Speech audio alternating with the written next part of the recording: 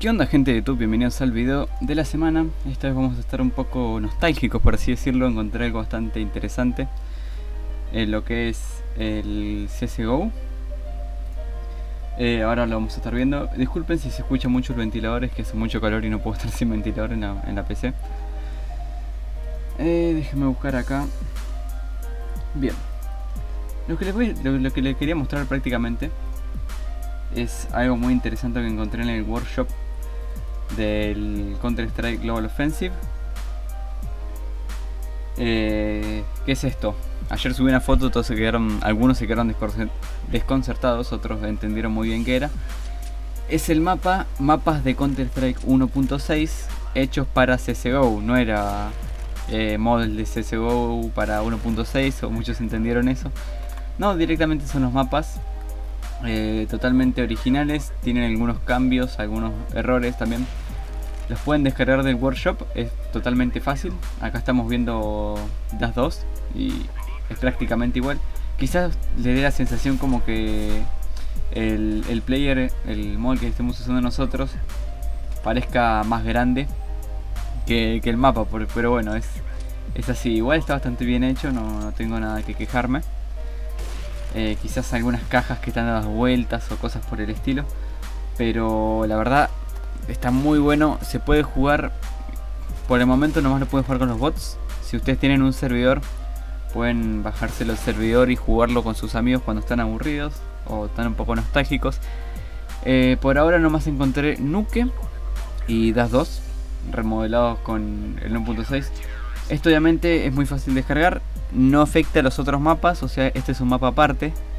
No es que le cambie las texturas al mapa original de DUS de DAS 2 del, del Go, sino que este es un mapa aparte, por eso no es tan competitivo ni, ni otros modos de juego, eh, matchmaking, etcétera. Obviamente también tiene un par de eh, bugs con, en cuanto a la iluminación, ya que, por ejemplo, cuando usamos el scope de la P, el reflejo si tenemos los gráficos en alto, el reflejo del scope no se ve. Así que bueno, tiene esos bugs, pequeños bugs, no más que la verdad no son muy importantes para mí. Así que no le tampoco les voy a dar importancia a la hora de jugar. Por ejemplo, vemos una caja media bugueada, está al revés. Eh, y bueno, eso nomás para los jugadores de Counter Strike Global Offensive que tienen ganas de jugar unos mapitas de punto 6 con sus amigos buscan un servidor, se lo instalan y juegan junto con sus amigos. Eh, voy a estar haciendo un par más de guías de Counter Strike Global Offensive porque la verdad, ahora que está el back, el Valve Anti-Cheat, eh, no hay tantos cheateros como antes que me decían, entonces no me da muchas ganas de jugar, así que voy a empezar a jugar un poco de matchmaking. Eh, porque en el punto 6 también es mucho que vamos a jugar y yo quería streamear los mix que juegan en 1.6, pero como Tenés que sacar ese que inyecte y toda la bola, no está bueno. Voy a tratar de streamear los matchmaking que juegue. Y subir un par de guías de, de AIM y más cosas de, de Go, ¿no? Eh, creo que nada más para explicar, ahora voy a mostrar un poco del mapa Nuke que encontré también.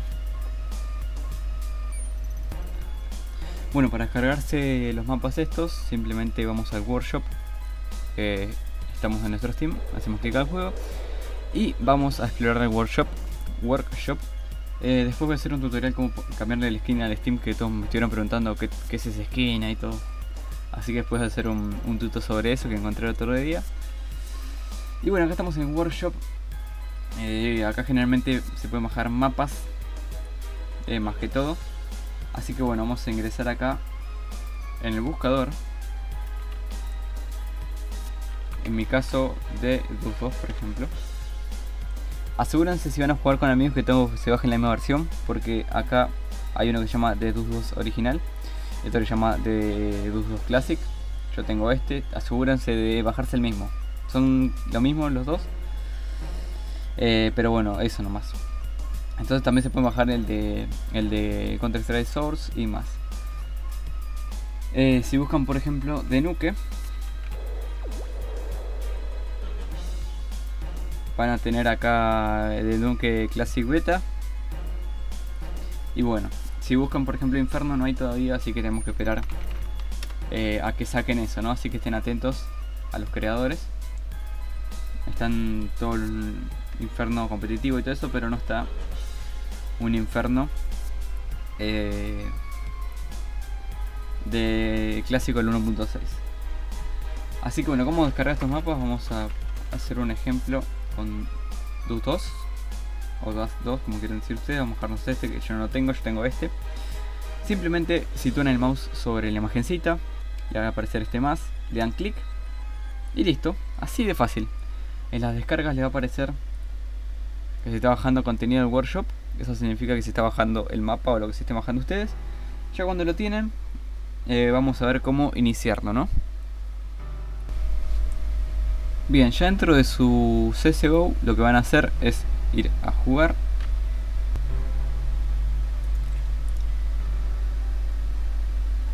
Eh, depende de lo que van a hacer. Primero yo que diría para probar, eh, van a offline con bots. Bueno, nos sale esta ventanita, elegimos acá la pestaña workshop. Lo que hacer esto es mandarnos los mapas que descargamos. Yo aunque solo tengo estos descargados. Y seleccionamos el que, queremos. Eh, yo ya había mostrado DAS 2, así que vamos a mostrar nunca. Vamos a elegir el modo. Yo voy a elegir eh, clásico y listo le damos iniciar casual competitivo, casual eh, los bots que queremos poner. Como ya dije si quieren jugarlo en un servidor con sus amigos recuerden tener la misma versión y instalar el, el mapa en el server. Sinceramente no sé cómo hacerlo porque nunca tuve un server de CSGO eh, bueno, estamos en el mapa. Como ven las texturas son iguales, esto igual. Subí los gráficos para poder apreciar mejor el mapa. Aunque, va, el mapa no, sino los mods y todo eso. Eh, vemos algunos cambios de iluminación en el mapa, como por ejemplo esto se ve muy verde, esto es lo que he encontrado raro. Eh, se, ve muy verde todo, eso es lo que me gusta. Después, bueno, tenemos todo igual, tenemos acá tenemos el, el radio. Creo que se puede subir a la lamparita. Obviamente no está igual igual, algunas cosas cambian. Como por ejemplo las cosas que hay acá arriba. Ahora hay revistas, no sé por qué. Eh, la iluminación acá está bastante igual. Tenemos acá... Tenemos... Eh, techo TT.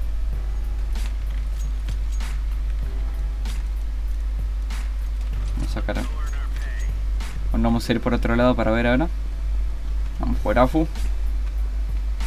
Bueno, tenemos roja, eh, Calpón, Factory, como le quieran decir ustedes. Vamos para abajo. Obviamente los, ruidos son iguales que en el CSGO, no cambian. Acá hubo un cambio que no me gustó mucho. Pusieron una puertita, no sé qué, qué frutada le mandaron y no se puede surfear acá. O yo no sé quizá, no sé. Después tenemos las puertas. Que se abren como puertas normales, pero corredizas. Eh, después tenemos los ductos que tienen un color azul. Le dio un toque más realista, pero no es lo clásico. Eh, abajo, cohete.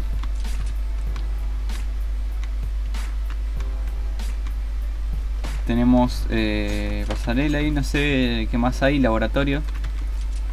Con el vidrio de siempre. Me cagaron a tiro. Y lo, último que nos falta ver es TT y, y lo que es adentro. Así que bueno, vamos a ver eso. Como ven está bastante bien hecho. Es bastante nostálgico como ir después esto con con las armas del Go, con la jugabilidad, del Go. Acá le cambiaron un poquito, obviamente no lo pueden hacer igual. El daño que nos hacemos acá es de 10, no es de 25, como lo hacemos en el 1.6. Como ya les dije, parecemos más, más altos. Somos más altos que las cajas porque obviamente esto está en beta.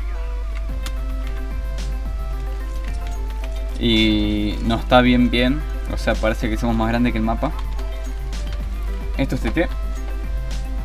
Ahí está camión un poco más ancho que de lo normal, pero bueno. Eh, después tenemos un graffiti random ahí. Acá tenemos hold. Como ya lo hemos La, lo que estoy probando es que metal no se abre con Aeto, se abre normalmente. Cuando lo empujamos. No es necesario apretarla, eh. Se abre totalmente solo. Bueno, la ventana de amarillo está adaptada a, igual que en el amarillo de CSGO. O sea, podemos pasar tranquilamente saltando. No sé cómo hacerlo bien fluido, pero bueno. Acá tenemos un TT. Eh, y bueno. Tenemos turbada. Está todo bastante bien hecho dentro de todo. Para hacer un beta está bastante bien. Hay algunas cosas que se tienen que arreglar. Pero la verdad que está bastante bien hecho. Como ya dije, para jugar con amigos. Para recordar este mapa. Está bastante bien. Nada más por el momento, recuerden si van a se van a ver un par más de guías de CSGO hasta que se me ocurra algo más para el punto 6. Aunque sí hay, pero no me quiero apurar con esas ideas. Eh, bueno, recuerden seguirme en Twitter, hacerme las preguntas por ahí, seguirme en Facebook también, en Facebook, así ven cuando hago streaming y todas esas cosas. Eh, ya estamos cerca de los 5000 suscriptores, así que va a ser un lindo especial. Poco también, un poco nostálgico. Nada más que decir, muchachos, hasta la próxima. Si se suben siguiendo mapas clásicos para el Go, los voy a subir para que ustedes los puedan ver. Eh, ya saben cómo descargarlos, nada más. Yo soy Clover, ahí me espero, nos vemos hasta la próxima. Chau chau.